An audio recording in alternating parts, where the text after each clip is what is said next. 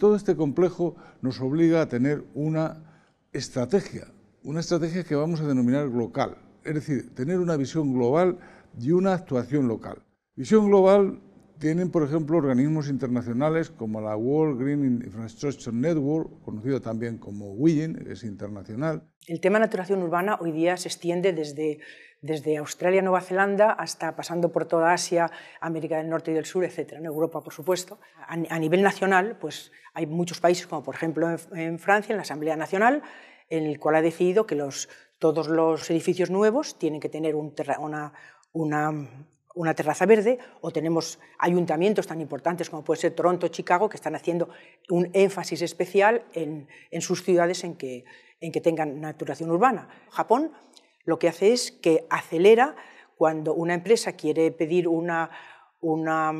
quiere edificar una, una, terraza verde en un edificio nuevo, entonces el, el gobierno, la administración, acelera los permisos. Y claro, eso supone unas grandes ventajas. En otros países, como por ejemplo en Alemania, lo que hacen es que tienen un, descuento en impuestos, porque se sobreentiende que al tener un,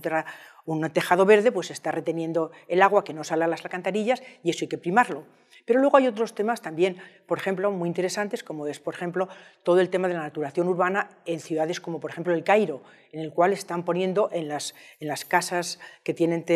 un techo plano, bueno, pues están haciendo huertos huertos urbanos que sirven para alimentación y sirven para y además pues mejoran la distribución al hacerlo en kilómetro cero, etc.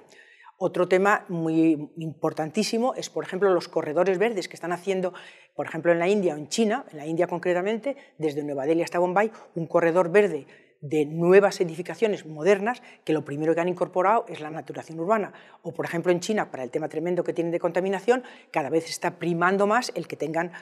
eh, tengan incluso invernaderos en, las grandes superficies o, superficies naturadas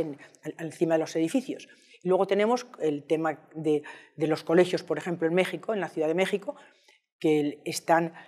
obligando a que los colegios tengan un, pequeño huerto para que luego sean, mm, eh, mejoren la alimentación de los niños y de sus familias y además cambien la mentalidad hacia, hacia productos hortofrutícolas. ¿no? O, sea, o luego hay ciudades en las cuales están consultando a, la gente o incluso recogiendo, como decía antes, recogiendo las, las, ideas de la gente. En este caso podríamos hablar, por ejemplo, de Londres o de nuestro Madrid, que, el, que tenemos por ejemplo, el tema de los huertos urbanos, o sea, que cada vez hay más, más conexión entre los huertos que han nacido de, la, ciudadanía con el, ayuntamiento, está recogiendo las ideas que se habían dado. Es decir, podemos hablar de un montón, muchísimos más de ejemplos en los cuales, pues, a, lo largo de, de todo el mundo, sobre el tema de naturación y cómo se está incorporando en nuestras vidas hoy día la gobernanza de esa naturación.